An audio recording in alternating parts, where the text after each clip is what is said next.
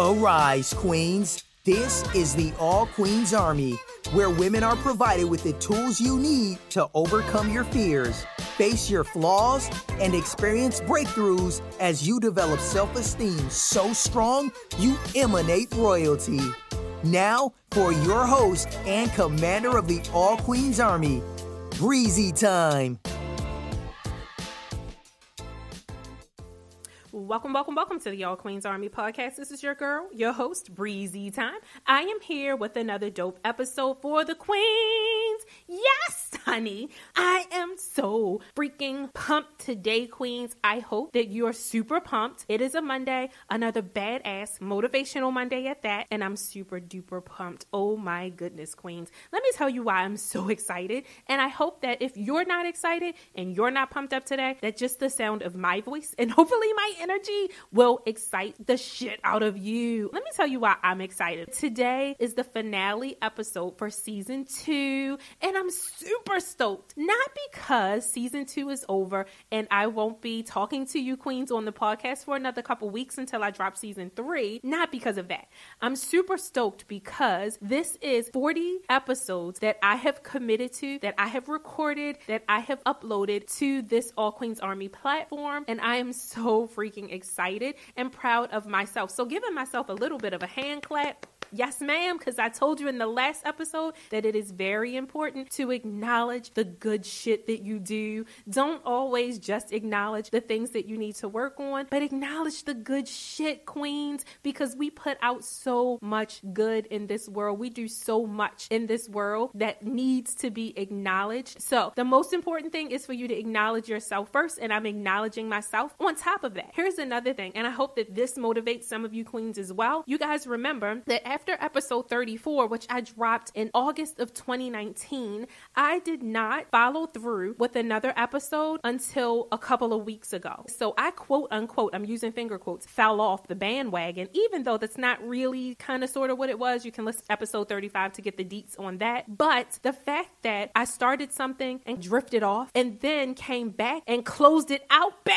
yes. Oh, honey, let me tell you, it feels so good. So I hope that that motivates some of you queens out there, if there's something that you started, something that you didn't finish, something that you want to finish, something that you didn't close out on, something that you dropped the ball on, something that you got off the bandwagon on, just get back on that damn thing, honey, and ride it and close it out. And don't let anybody tell you, oh my God, she started something and didn't finish. Baby, finish it, okay? And don't feel bad about the break in between. So now that I got that off my chest, I just wanted to pat myself on the back a little bit because I'm pumped about that, y'all. Every success success doesn't have to look beautiful, honey. But two seasons in, I feel real damn successful about that. So before we get started with today's topic, which is going to be a banger, it is going to be a dope ass episode and hopefully one that really, really helps you guys understand how to do something really important. I'm going to tell you about that in a second. However, before I jump into that, I want to ask you, Queens, as always, if you have not subscribed to the All Queens Army podcast, go to allqueensarmy.com, click on the subscribe link. We are on a couple of different platforms, so you can choose whichever one is your favorite. We're on Apple Podcasts, Google Play, SoundCloud, Spotify, YouTube, and iTunes. You can use any of those to subscribe. The links are all on the website, so please do so, okay? I really appreciate it. Thank you so, so, so much. With that being said, I'm going to jump into what we're going to be talking about today. What am I going to motivate you about? Well, I'm going to do two things. I'm going to motivate you today because I always motivate you because guess what? Today is hashtag Motivation Monday, okay? So I always always want to motivate the shit out of you. All right.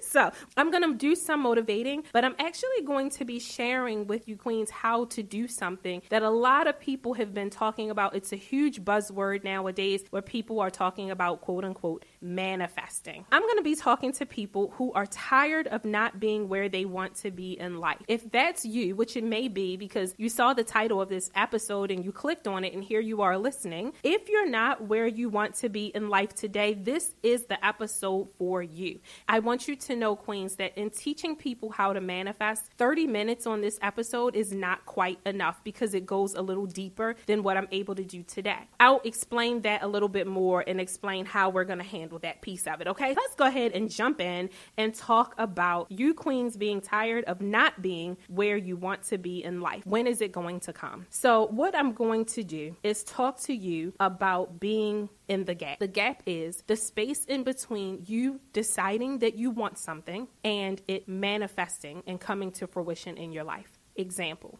you deciding, I want to get married and you say that or you share it with someone or somehow you put it in the universe and you've made that decision that that's what you want, the gap is from that moment that you decided and that you put it in the universe to the moment that it actually happens. That space in between, that waiting period, that's called the gap. Why is the gap an important part of this conversation?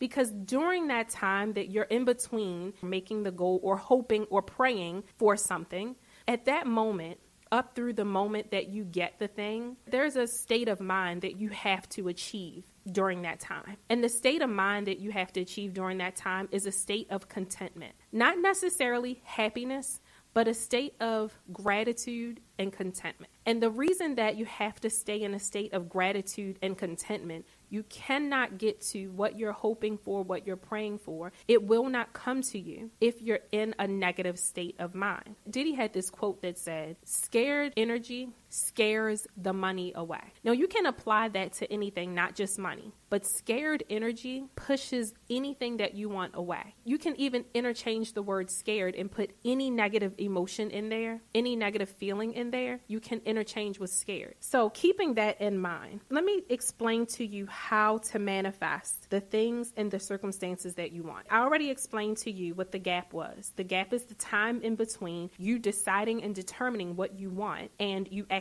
getting what you want. Okay? How do you manifest? The thing that you're asking for, the thing that you want? Well, here's how I'm going to give you some tips. Manifesting is a process that happens, it takes a little bit of time. What I promise to do during the time that I have between season two and season three, I'm going to create a tutorial or a course of some kind that really does go into true depth of how to manifest what you want. So, this episode is going to give you an introduction and a high level summary. And then over the course of the next couple of weeks, I will be developing a course for you guys that I'm going to put on the website to go into it a lot deeper because it is really, really important at this stage of our lives, Queens, that we know how to manifest, okay? Here we go. Let me get into the high level summary of how to manifest what you want. First things first, decide and figure out what it is that you want. Most of you have already done that. A sub bullet of that is determine why you want what you want. Like, really go into yourself. If you listen to the last episode where I described having moments of time during the day where you can just focus on your own innermost feelings, that's what you need to do here. You need to take some time to really think about what it is that you're saying you want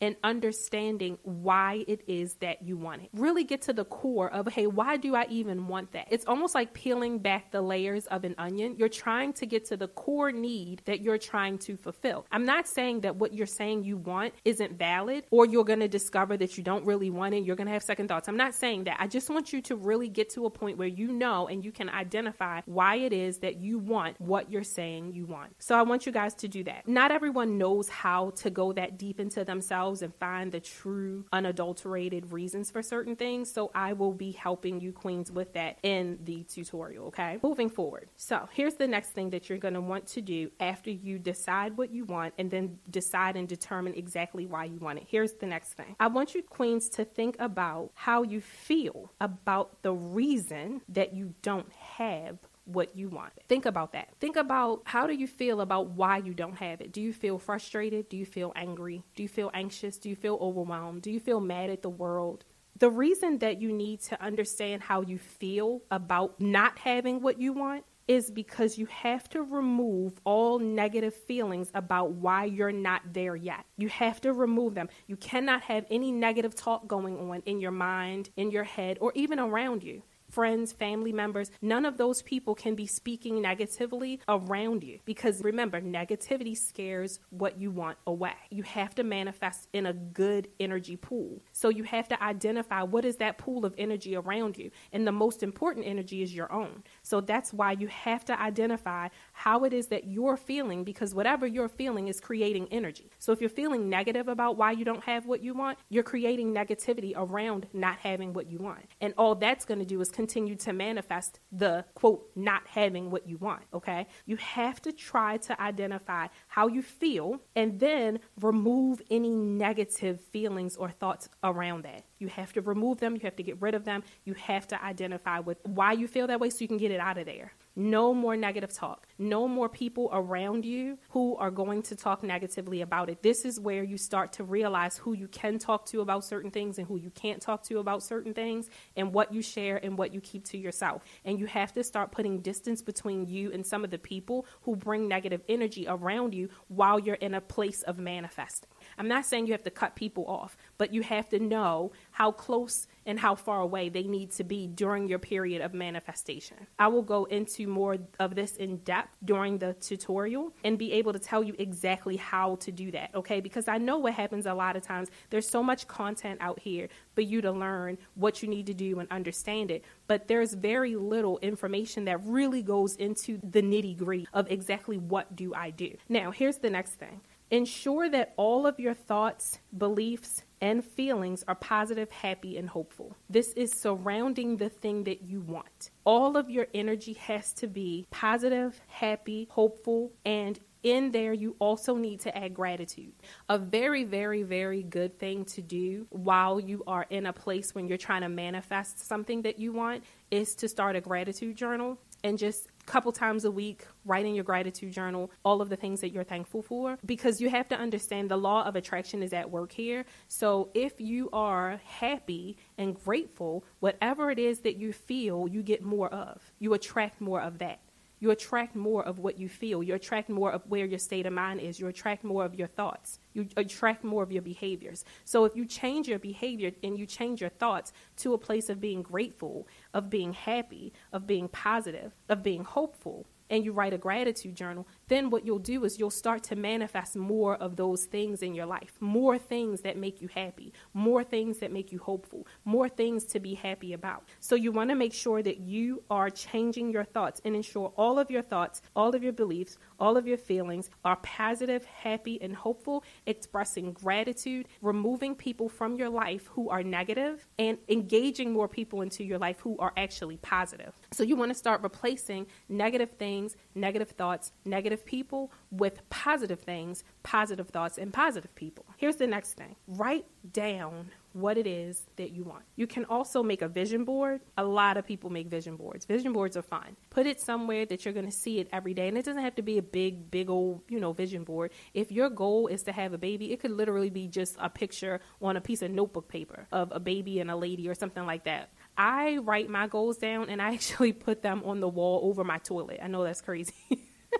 to put over the toilet, but that's somewhere that I go every single day. And when I walk up to the toilet, I see it. And of course, then I have to turn around and sit down and do my business. But you know, it's like you want to put that that picture or your vision board somewhere that you're going to look at it every single day. Another idea is to make it your screensaver on your phone. So like write it out on a picture app or something like that, and then put it on your phone because that's something that you look at every day. The other thing in that same category is start to plan for the arrival of it. In other words, start doing things as if you already have the thing that you want. I use this in the example on one of the last episodes where I said, with the law of attraction, let's just say you want a baby. You're about to go buy a house. Make sure you buy a house that has a space for the baby, a space for the nursery, a space for a child's bedroom. Start doing things as if the baby is there. Start making your schedule at work and your daily schedule and what you do as if you're taking care of a child already. And I know it might sound a little weird and a little crazy,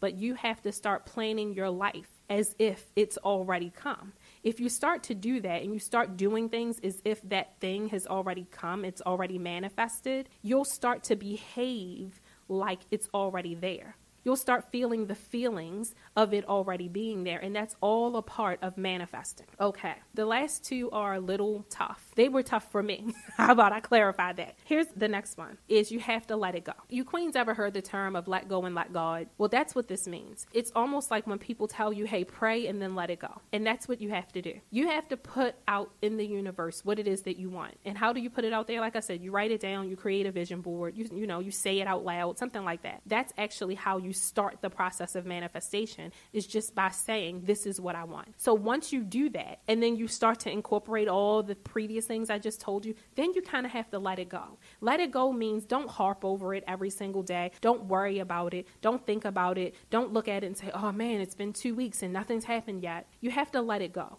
Let it go is all about trust. It's about belief. It's about faith. And most importantly, it's about patience. So once you get to the point where you've identified it, you've claimed it, you started to incorporate it in your life, you've removed all of the negative thoughts about it, you feel happy thoughts and you smile when you think about it, you started behaving as if it's already happened, then you just mentally have to let it go. Trust that the universe or God, whatever you believe in, is going to bring it. Trust that in due timing it will come. Start really, really, really having faith and then have patience. Okay, just be patient. Everything doesn't happen overnight. Manifestations don't come overnight, it doesn't happen in a day. It takes time. So remember that time, that patience is the gap. And that's why I started with explaining what the gap is and why it's so important that you understand the gap. The gap is a place where you have to learn how to be content. So that's what I just explained to you. You have to learn how to find contentment in knowing that it's coming. Find contentment in your life no matter what it looks like right now. Again, I'll use the example of woman who wants a kid, and that's what she's trying to manifest. You have to learn how to be happy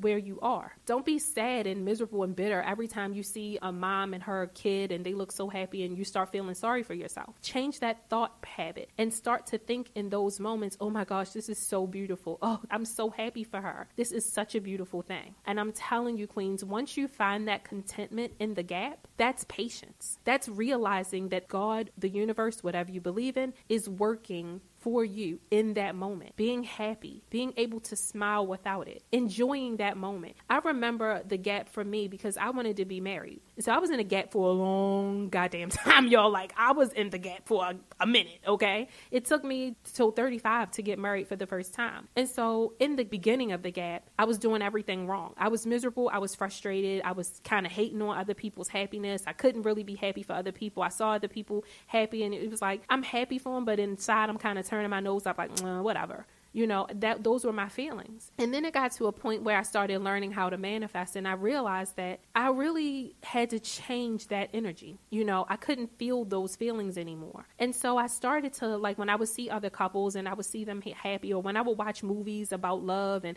the happy ending and stuff like that it would bring tears to my eyes. I started to feel like oh my gosh this is so beautiful. And i actually started to feel like i could feel their love. Like i was experiencing their love with them whether it was on tv or in real life. And I legitimately was happy for people. Like I wanted to pick them up and spin them around, like, oh my gosh, this is so beautiful. I'm so happy for you guys. And it was really genuine. I stopped feeling crazy when I was going to family events and everybody was with their boo and I was by myself, just me and my son. At first, I used to be in those situations and I would feel like, dag, I'm like the third leg. I'm only person with no spouse. And I used to feel sad. Well, after I started changing my mindset about it and I learned how to be content in the gap, I was just happy to be around people who had somebody to love. I was happy and I was content and I was fine and I didn't even think about the fact that I didn't have someone on my arm. I was just thinking about the fact that, oh my gosh, my sister next to me is so happy. This is so beautiful. And I just wanted to hug her and hug her husband and be happy with them. And I was so happy for my brother and I was so happy for my mom because they were happy and they were in love and they were in relationships.